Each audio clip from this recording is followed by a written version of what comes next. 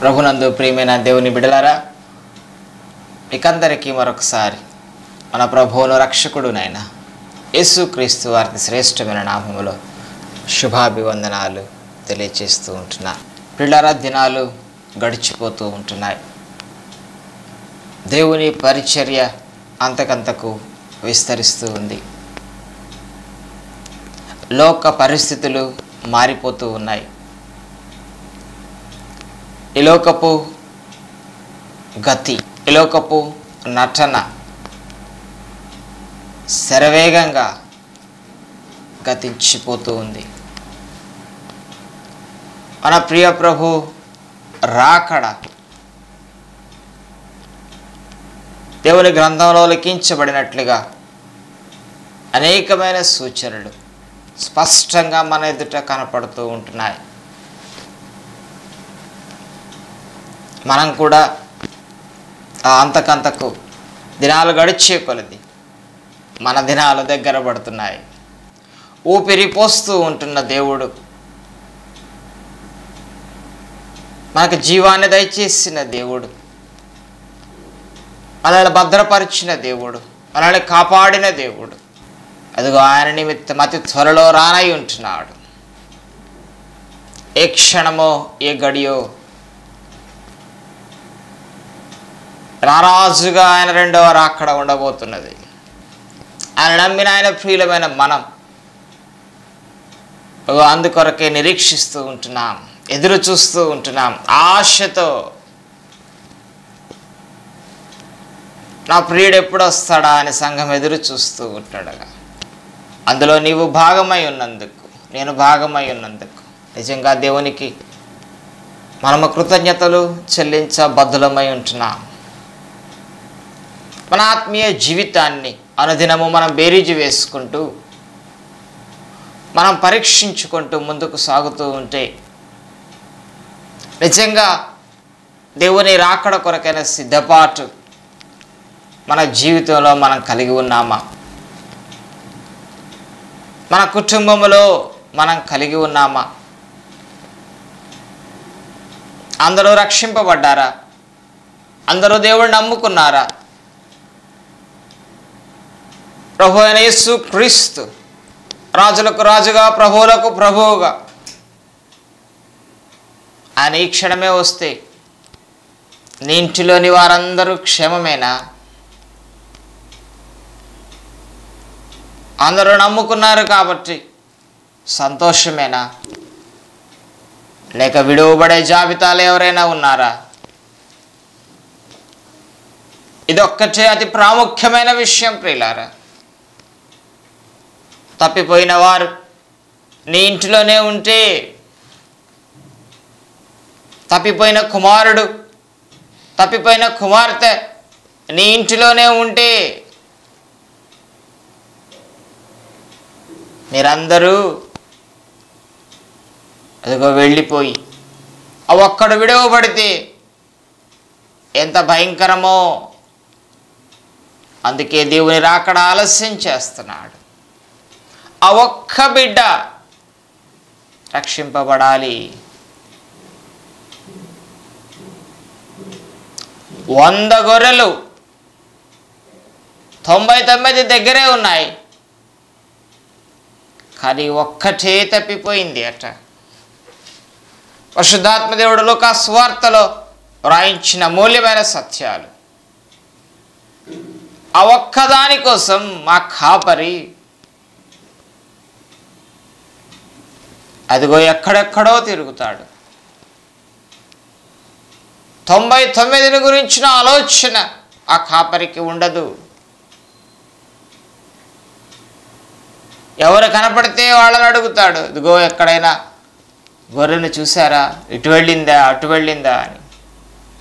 కొండల్లో కోనల్లో ఆ తిరిగి సంపాదించుకుంటాడు. దొరికితే ఎంత సంతోషం!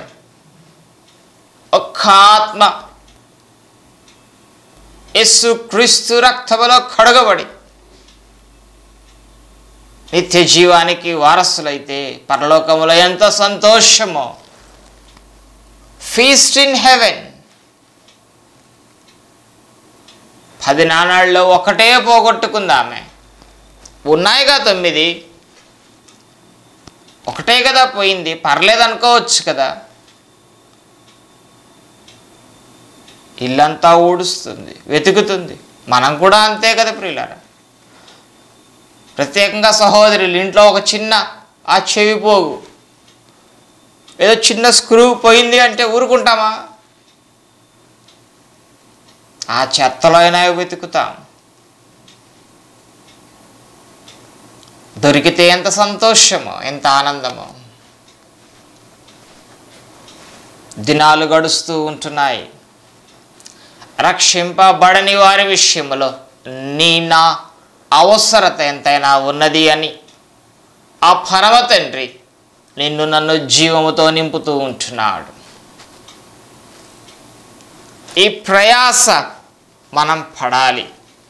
ఈ ప్రసవ వేదన అనుభవం మనం అనుదినము కలిగి ఉండాలి. నమ్మిన నీకు నమ్మని వారిని గురించిన చింత లేకపోతే నీ నమ్మిక చాలాసార్లు వ్యర్థమే. నీకు దేవుడు జీవం పోయటంలో ఉపయోగం లేదు. ఆయన నిన్ను సంరక్షించి తన బిడ్డగా చేసుకొని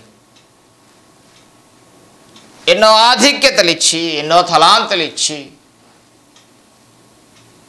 ఎంతగానో నిన్ను సంరక్షించి కాపాడుతూ ఉండటం అందులోని ప్రధాన ఉద్దేశం నీ గృహములో నీ ఇంటిలో నీరుగు పొరుగు నీ బంధువులలో ఒకవేళ నీ స్థానిక సంఘములో నీకు తెలిసిన వారిలో కొందరినైనా ప్రభు కొరకు నువ్వు సంపాదిస్తావు అని. బో తప్పిపోయిన కుమారుడు దొరికినప్పుడు తండ్రికి ఎంత సంతోషమో కదా. ఏ భేదములు లేదు అందరిలో పాపము చేసి దేవుడు అనుగ్రహించు మహిమను పొందలేకపోవచ్చున్నారు. ఒక మనుష్యుడి ద్వారా ఇగో ఈ భూలోకంలో ఉంటున్న మానవాళి అంతా తప్పిపోయిన జాబితాలు పాపము చేసిన జాబితాలు దిక్కుతోచని పరిస్థితుల్లో కొట్టుమిట్టాడుతూ ఉంటుండగా నీకైతే ఆ దేవుడు దొరికాడు నాకైతే ఆ దేవుడు దొరికాడు. రకరకాల బ్యాక్గ్రౌండ్స్ కలిగి ఉన్నాం మనం. కానీ ఈ నేడు అందరం ఒకే రక్తములో కడుగబడి ఒకే ఉదరములో నుంచి వచ్చిన బిడలుగా సహోదరులుగా సహోదరులుగా అదిగో ఆ తండ్రి బిడలుగా ఒక కుటుంబంగా మనం చేయబడ్డాం. భూలోకంలో ఇంకా అనేక మంది ఉన్నారు. ఆయనని ఎరగని వారు. ఏసు ఎవరో అని చూడగోరాడు. ఒక సుంకపు గుత్తదారుడు. అబ్బో ఎంతో మంది దగ్గర డబ్బులు గుంజాడు. కట్టాల్సిందే. తన అధికారాన్ని ఉపయోగించి. అన్యాయంగా చాలామంది దగ్గర అక్రమంగా అనేకమైన ఆస్తులు కూడబెట్టుకున్నాడు. ఒక దినాన ఏసీ ఎవరో అని చూడగోరాడు ఆధారణ వస్తున్న ఏసయ్య. ఆయనకు అన్నీ తెలుసు. అలా పైకి చూశాడు. జక్కయ్య త్వరగా దిగు. ఆ ఒక్క మాటతో అంత పవర్ఫుల్గా ఉంటున్న ఆ ట్యాక్స్ కలెక్టర్ ఏసై దగ్గరకు వచ్చేసాడు అయ్యా!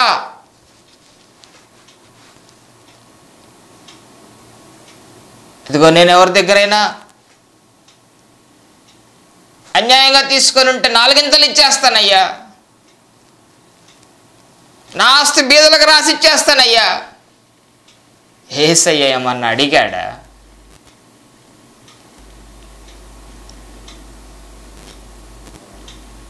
ప్రభు అంటాడు ఇతడును అబ్రహాము కుమారుడే. నేడు ఈ ఇంటికి రక్షణ వచ్చి ఉన్నది. నశించిన దానిని వెదకి రక్షించుటకు మనుష్య కుమారుడు వచ్చెను. పిల్లర నీవు నేను ఒకప్పుడు నశించిపోయిన జాబితాలో ఉన్నాం. నిన్ను నన్ను ఆయన వెదికాడు. ఆయన కనుగొన్నాడు. ఆయన రక్షించాడు. ఇంకా మరెందరో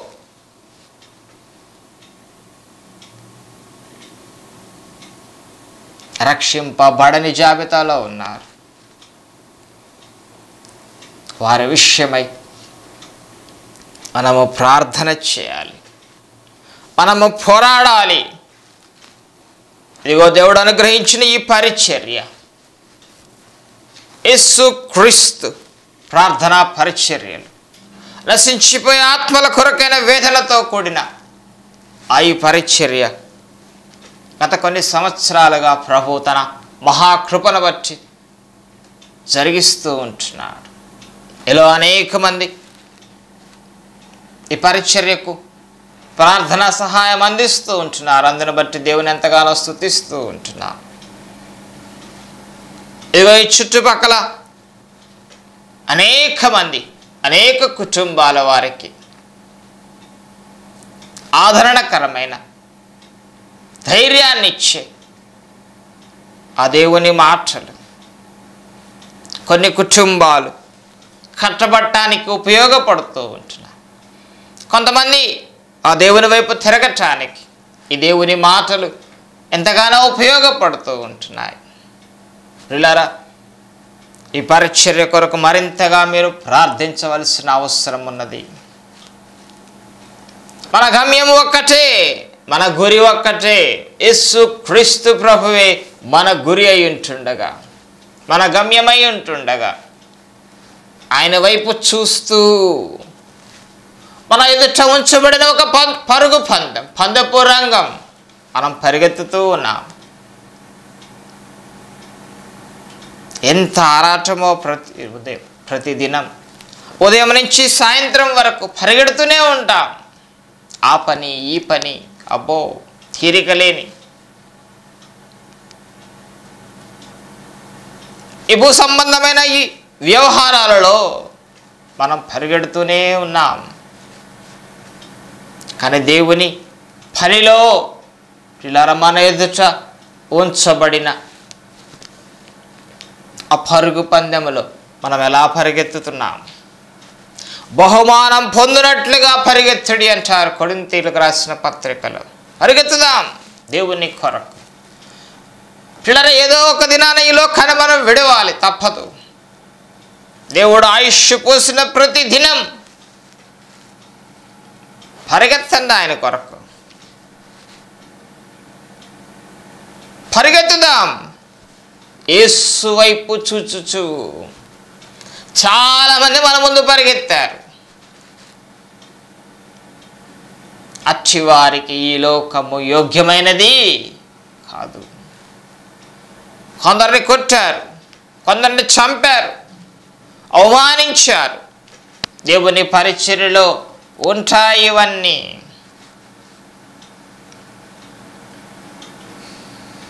కష్టాలు నష్టాలు. నీవు దేవుని నమ్ముకున్నందుకు నీకు కష్టాలుంటాయి. పడు ఆయన పాదాల దగ్గర అద్భుతంగా నీ జీవితాన్ని మార్చివేస్తాడు. మారుస్తాడు ప్రిలార నీ బ్రతుకు. నీ కన్నీటి ప్రతి బొట్టు నీవు కార్చిన ప్రతి కన్నీటి చుక్క. నీకు తెలియదు కానీ ఆయన కవలలో దాచిపెట్టాడట. నీ తల వెంట్రుకలన్నీ ఎన్నున్నాయో నీకేమైనా తెలుసా? కానీ నేను సృష్టించిన నీ సృష్టికర్త. ఆయన వాటిని కూడా లెక్కించి పెట్టాడంట. వీళ్ళని నేను చెబుతున్న మాటలు కాదు. దేవుని లేఖనాల్లో పరిశుద్ధాత్మ దేవుడు లిఖించి నీ నా ఆత్మ సంబంధమైన ఎదుగుదల కొరకు ఆలోచన చేస్తూ దేవుని వైపుకు మరింతగా దగ్గర అవటానికి రాయించి పెట్టిన మాటలు. తల వెంట్రుకలు కూడా లెక్క కట్టాడు అంటే అబ్బో! ఒకవేళ ఈరోజు తలదూకుంటే ఒక పది వెంట్రుకలు రాలిపోతే వాటిని ఆయన లెక్క కట్టి పెట్టాడేమో. ఇంకా ఎన్ని మిగులున్నాయని లెక్క కట్టాడేమో. ఎంత సూక్ష్మంగా నీ జీవితాన్ని గురించిన ఆలోచన ఆయన కలిగి ఉన్నాడో చూడండి. మరి మనం ఆయన గురించిన ఆలోచన ఆ దేవుణ్ణి తెలుసుకోవాలన్న ఆతృత ఆ దేవునికి దగ్గర అవ్వాలన్న అదిగో ఆ సంతోషముతో మనం ముందుకు సాగుతున్నామా? సాగాలి ప్రియులారు. ఎనభై నాలుగవ కీర్తన. ఒకసారి మనం చదువుదాం కొన్ని మాటలు. ఎనభై నాలుగు ప్రధాన గాయకునికి గిత్తితరు రాగం మీద పాడదగినది కోరహ కుమారుల కీర్తన. కొన్ని అద్భుతమైన మాటలు ఇందులో మనకి మన ఆత్మీయ జీవితానికి నీ కుటుంబానికి నీకు ఉపయోగపడే మాటలు ఇక్కడ కనపడతాయి. పిల్లలు దేవుని వాక్యం వింటూ ఉంటుండగా దేవుడు నిన్ను ధైర్యపరుస్తాడు. దేవుడు నీకు ఆదరణనిస్తాడు. దేవుడు నీకు తృప్తినిస్తాడు. దేవుని మాటలు వినండి. కాసేపు ఆ టీవీ ముందు కూర్చోవడానికి ప్రయత్నం చేయండి. దేవుని దాసులు అందిస్తూ ఉంటున్న అమూల్యమైన సత్యాలు వీలుంటే కొన్ని రాసుకోండి. ఒకవేళ దేవుడు నీతో పర్సనల్గా ఆయన మాట్లాడితే ఆ వాటిని కూడా రాసుకోండి. కొన్ని వాగ్దానాలు దేవుడు నీకు దయచేస్తూ ఉంటే వాటిని మననం చేసుకోండి. జనవరి ఒకటినే కాదండి. ఆ ఒక్కరోజే దేవుడు వాగ్దానం ఇస్తాడన్నది అదొక అపోహ. అనుదినము ఆయన నీకు వాగ్దానాలు అనుగ్రహిస్తూనే ఉంటాడు. నీ కుటుంబానికి అవసరమైన వాగ్దాన మాటలు ఆయన నీకు దయచేస్తాడు. వాటిని నెరవేరుస్తాడు. వాటికి ముద్ర వేస్తాడు. పారిపోకు సుమా. ఎనభై నాలుగు. సైన్యములకు అధిపతి ఒక యహోవా. నీ నివాసములు ఎంత రమ్యములు. ఈ మాటలు మన నోట మనం పలికితే ఈ మాటలు మనం రాసుకుంటే మన హృదయం అనే పలక మీద ఈ మాటలు మనం రాసుకుంటే అబ్బా ఎంత ఆనందం ఎంత సంతోషం. సైన్యములకు అధిపతికు యహోవా గొప్ప దేవా ఈ కీర్తనాకారుడు అంటున్నాడు. నీ నివాసములు ఎంత రమ్యములు? యహోవా మందిర ఆవరణములు చూడవలనని నా ప్రాణము ఎంతో ఆశపడుచున్నది అది సొమ్మసిల్లుచున్నది. జీవము గల దేవుని దర్శించుటకు నా హృదయమును నా శరీరమును ఆనందముతో కేకలు వేయించున్నవి. గత సంవత్సరం లాక్డౌన్ అప్పుడు మందిరాలు మూసివేయబడినప్పుడు అబ్బో గొప్ప పాఠం. ఆదివారం ఇంట్లోనే ఉండటం.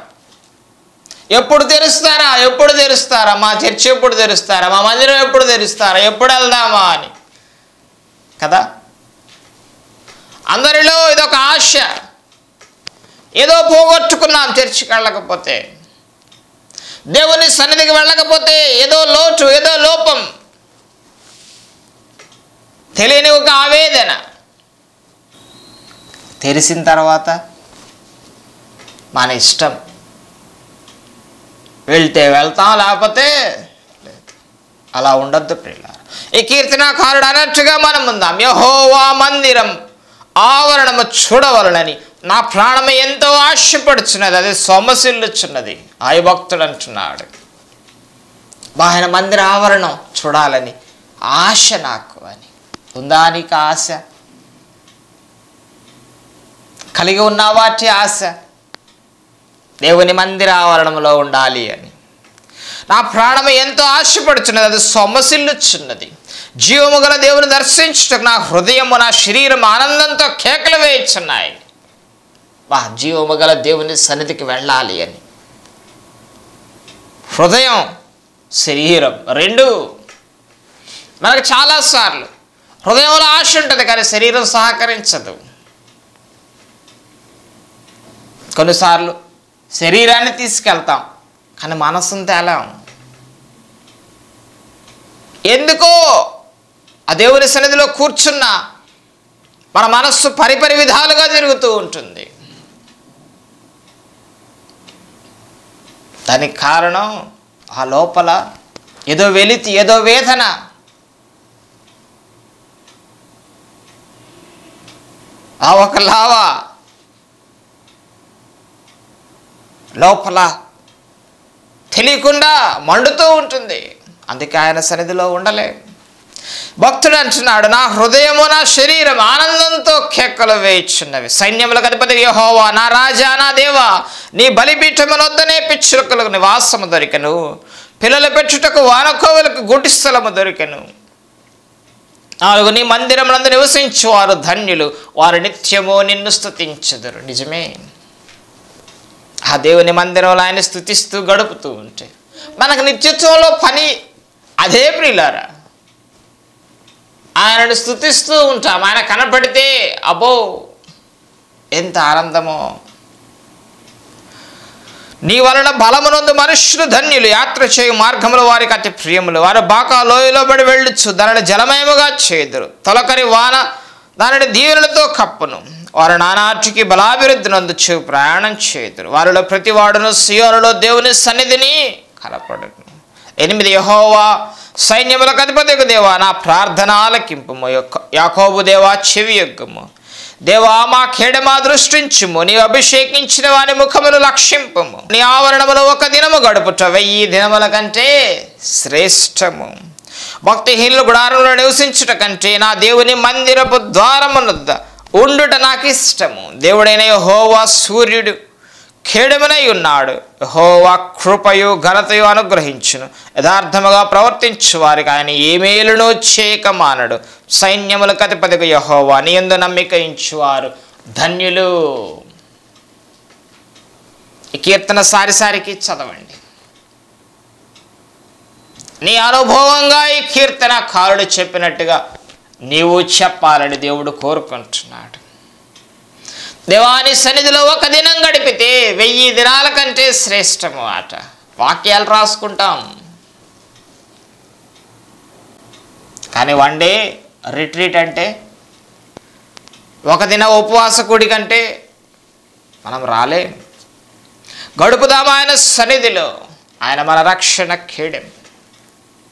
మనకు అంత ఆయనే ప్రియులారు.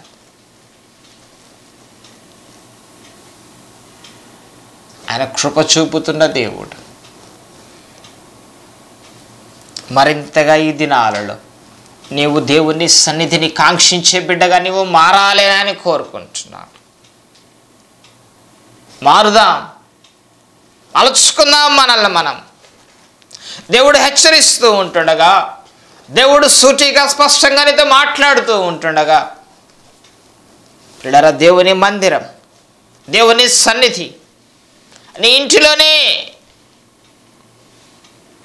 ఆ దేవుని సన్నిధిని కాంక్షించు కోరుకో. అనేకమైన వ్యర్థమైన వాటికి మన సమయాన్ని ఉపయోగిస్తున్నాం. కట్ చేసుకుందాం వాటిని.